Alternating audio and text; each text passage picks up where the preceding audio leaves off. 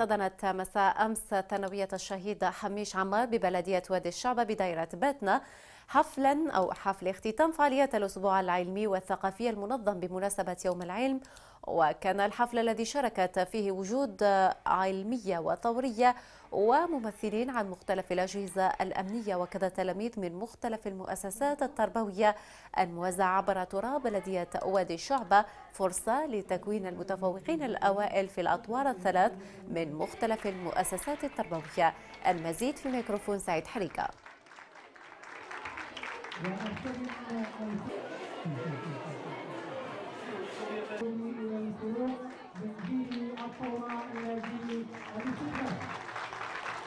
نتواجد اليوم من أجل تكريم التلاميذ الحاصلين على الرتبة الأولى في الأقسام الامتحانات مع تقديم هذه تقديم المؤسسات لأنشطة. أنا معد لي هو 19.37 كرموني في هذه الأمسية في هذا الحفل. راني فرحانة بزاف في هذه الذكرى. تحصلت على معدل 15.63 قرأت سنة ثالثة ثانوي علوم. آه، اليوم جاو هنا كرمونا في الثانوية هذه وما توقعتهاش يعني وفرحونا بها